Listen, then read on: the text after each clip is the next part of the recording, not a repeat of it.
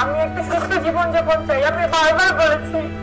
লাইভে এসে কেঁদে কেঁদে একই বললেন পরিমণি। এ সম্পর্কে বিস্তারিত জানতে আমাদের সাথে থাকুন। চিত্রনায়ক শরীফুল রাজ ও চিত্রনায়িকা পরিমণির দাম্পত্য কলহের ইস্যু এখনও সামাজিক যোগাযোগ মাধ্যমে ঘুরপাক খাচ্ছে প্রতিনিয়ত।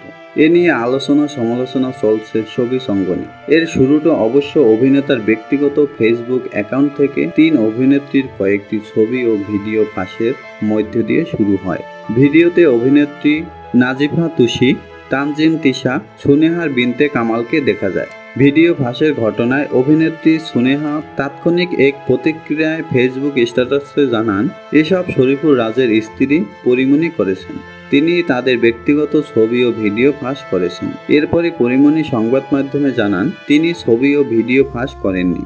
এমনকি জানান তার স্বামী শরীফুর রাজ দশ থেকে পনেরো দিন ধরে তার সঙ্গে নেই। এই অবস্থায় ভিডিও ফাঁস কিছুতেই সম্ভব না বলে জানান এ নায়িকা এরপরে রাজের সঙ্গে পরিমণির মত পার্থক্য প্রকাশ্যে আসে। সেই ঘটনার পর গত রোববার একটি জাতীয় গণমাধ্যমের সাক্ষাৎকার অনুষ্ঠানে যোগ দিয়ে বিভিন্ন কথা বলেন রাজ। পরিষ্কার করেন নিজের অবস্থান। এর পরের রাতে একই অনুষ্ঠানে যোগ দিয়ে নিজের অবস্থান পরিষ্কার করেন, পাশাপাশি রাজের অভিযোগ খণ্ডন করেন পরিমণি। এক ঘণ্টার বেশি সম্প্রসারিত অনুষ্ঠানে কয়েকবার কেঁদেও ফেলেন এ নায়িকা। বেশ কয়েকবার আবেগপ্রবল হয়ে পড়তে দেখা যায় নায়িকাকে। পরিমণি স্পষ্ট ভাষায় বলেন, আজ থেকে আমি রাজের বউ নই, আমি এই সম্পর্ক টেনে নিতে চাই না। রাজের উদ্দেশ্যে বলেন, যত দ্রুত সম্ভব তিনি যেন তাকে ডিভোর্স দেন।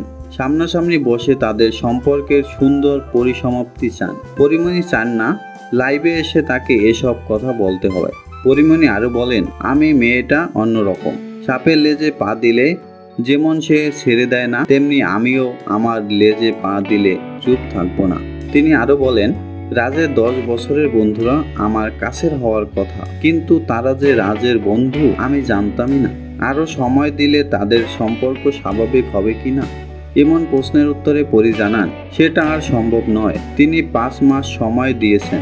এর মধ্যে যখন হয়নি, তখন তাদের সম্পর্কের কার্যত ইতি ঘটেছে বলে তিনি মনে করেন। পরিমণি বলেন যেদিন ভিডিওগুলো রাজ্যের অ্যাকাউন্ট থেকে আপলোড হয়, সেদিন মাঝরাতে তার সঙ্গে আমার কথা হয়। সেসব সময় সে বলেছিল, সন্তান রাজ্যকে দেখতে আসতে চায় সে। অভিনেত্রী বলেন, সে যদি রাজ্যকে দেখতে চাবে, তাহলে আমাকেই ফোন করত।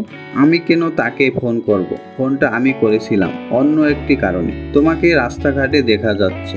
ও তো পাবলিক ফিগার কম বেশি অনেকেই চেনে। ওর যদি এমন কিছু হয়, যেটা আমাকে হাইড করে দেখতে হয় বা প্রকাশ্যে আসলে ওর ইমেজ অনেক প্রশ্নবিদ্ধ হবে। ওর ফ্যামিলি হিসাবে আমিও অনেক প্রশ্নবিদ্ধ হব। এসব কাজও কেন পাবলিকলি করে?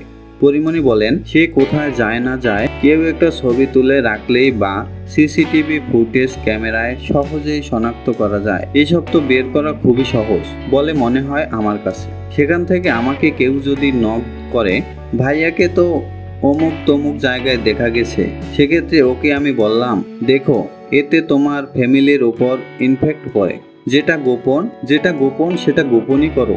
সেটা কেন আমার কাছে আসবে? এটা তো খুবই খারাপ। যদি এসব করতে হয়, স্ত্রী হিসেবে আমার অনেক খারাপ লাগবে। আমাদের ফ্যামিলি এবং সন্তান কারোর জন্য ভালো হবে না।